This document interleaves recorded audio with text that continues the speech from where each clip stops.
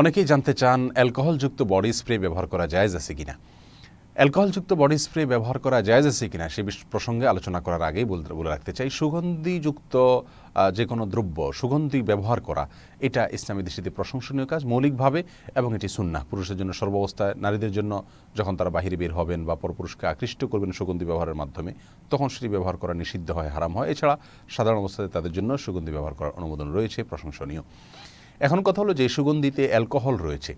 সেই সুগন্ধির ব্যবহার প্রসঙ্গে ইসলামী শরিয়ার দৃষ্টিভঙ্গি কি?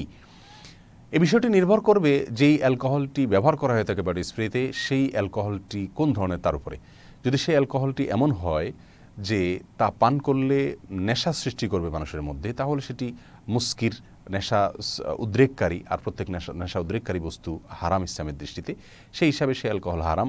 আর সে হারাম হারাম অ্যালকোহল সেখানে থাকার কারণে ওলামা ইকরামের অনেকেই সেটাকে নাজায়েজ বলেছেন। যেমন বিনবাজ রহমাউল্লাহ কোনো কোনো ধরনের বডি স্প্রে যেটাতে অ্যালকোহল রয়েছে এবং নেশা সৃষ্টি করে এরকম অ্যালকোহল রয়েছে এটি তিনি নিশ্চিত হতে পেরেছেন সংশ্লিষ্ট বিশেষজ্ঞদের মাধ্যমে। তখন সেটি তিনি হারাম বলেছেন, সেটির ব্যবহারকে নাজায়জ বলেছেন। অবশ্য ইবনে ওসামিন রহমাহুল্লাহ বলেছেন যে অ্যালকোহল যদি সেটা নেশা সৃষ্টিও করে, সেটা ব্যবহার করা জায়েজ হবে, কারণ সেটি পান করা হারাম। খাওয়া হারাম, কিন্তু সেটাকে ব্যবহার করলে সেটা হারাম হবে না। কারণ প্রত্যেক হারামই নাপাক হওয়া জরুরি না। আবার অনেক ওলামা একরাম বলেছেন, এটা ব্যবহার করে আপনি নামাজ পড়তে যেতে পারবেন না, সাথে সাথে। একটু দেরি করে তারপর যেতে পারেন, যাতে বাষ্প হয়ে অ্যালকোহলটা উড়ে যায়। যেহেতু এটা হারাম, আর হারাম জিনিস অনেক আমাদের মধ্যে নাপাক প্রত্যেক মদ এবং নেশা জাতীয় দ্রব্য, সেজন্য তারা বলেন যে একটু দেরি করে নামাজ পড়তে যাবেন। তাহলে আমরা দেখতে পাচ্ছি এখানে যে অ্যালকোহল যদি নেশা সৃষ্টি করে, সেরকম অ্যালকোহল থাকে, সেটাকে অনেক ওলামাইকরম ব্যবহার করা নাজায়জ বলেছেন। অনেকে এটাকে ব্যবহার করা জায়েজ বলেছেন। এই অর্থে যে এটা নাপাক নয় আর যেহেতু এখানে পান করছে না অতএব হারামের কিছু নাই। আবার অনেকে এটাকে ব্যবহার করে মসজিদে সাথে সাথে গিয়ে নামাজ পড়তে বা সাথে সাথে নামাজ পড়তে নিষেধ করেন, মসজিদে যাওয়া শুধু নয়। তারা বলেন যে এটা নাপাক। আর নাপাক যেহেতু, অতএব কিছুক্ষণ অপেক্ষা করলে বাসায় উড়ে গেলে তারপর তিনি নামাজ আদায় করবেন। এ হলো মোটামুটি অনেকগুলো মত আমরা দেখতে পাচ্ছি। যদি অ্যালকোহল নেশা সৃষ্টি করে, সেরকম অ্যালকোহল থাকে বডি স্প্রের ভিতরে। এর বাইরে অনেক স্কলারদের মতে এবং তাদের গবেষণা অনুযায়ী যে অ্যালকোহলটি বডি স্প্রেতে ব্যবহার করা হয়ে থাকে, আসলে এটি পান করলে মানুষ নেশা সৃষ্টি হয় না, বরং এটা এমন ধরনের অ্যালকোহল যেটি আসলে নেশা সৃষ্টি করবার জন্য নয়। এটা এক ধরনের কেমিক্যাল যেই কেমিক্যাল পান করলে বরং মানুষ মারা যাওয়ার আশঙ্কা আছে, এটা কোনো নেশা হিসাবে ব্যবহার করা আর কোনো সম্ভাবনা নাই। অতএব সেই দৃষ্টিকোণ থেকে বডি স্প্রে ব্যবহার করা জায়েজ আছে।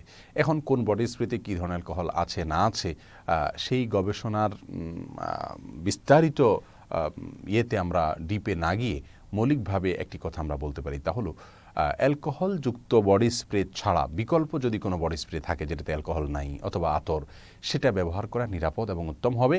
আর অ্যালকোহলযুক্ত বডি স্প্রে ব্যবহার করলে সেটি আমার দৃষ্টিতে আমি যতটুকু এ বিষয়ে স্টাডি করেছি, তাতে এটি নাজায়েজ হবে না গুণা হবে না, হারাম হবে না।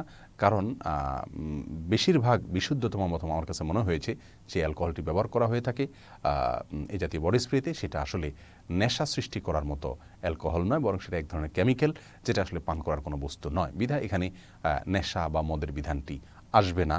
এটা হলো আমার ব্যক্তিগত দৃষ্টিভঙ্গি।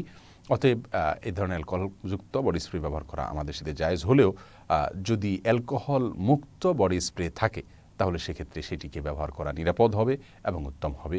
বিশেষ করে আতর এবং এ জাতীয় আরও কোনো ব্র্যান্ড যদি থাকে সেগুলো আল্লাহ সুমাতাল আমাদের সকলকে, সব ক্ষেত্রে আল্লাহ সুমাতালার বিধানকে ফলো করে এবং মান্য করে চলার তৌফিক দান করুন। জেজাকমুল্লাহ খেরা আসসালামু আলাইকুম রহমতুল্লাহ বরাকাতু